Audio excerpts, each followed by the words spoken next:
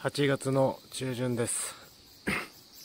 さあ今僕たちは、まあ、2週目の草刈りも終わりうん大体こう巻くやつも終わって今作業場でえっと稲刈りした後の調整とかまあ稲刈りの準備ですねをしています。今日作業場で稲刈りの準備を終わらせていよいよ多分9月上旬から稲刈りが始まります。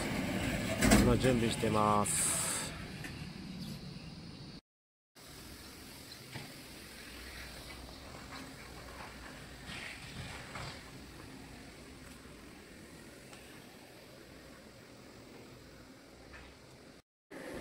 こんな感じでパイプとかを全部つなげて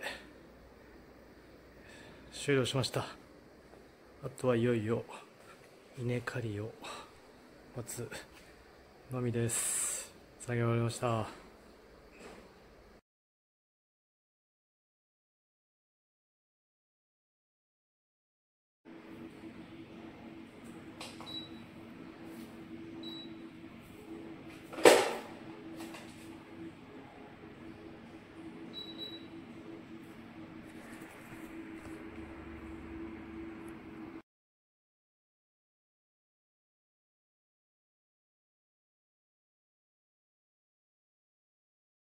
まだ8月中旬ぐらいですが雪明かりでスキースクールの来年のスケジュールを練ってます。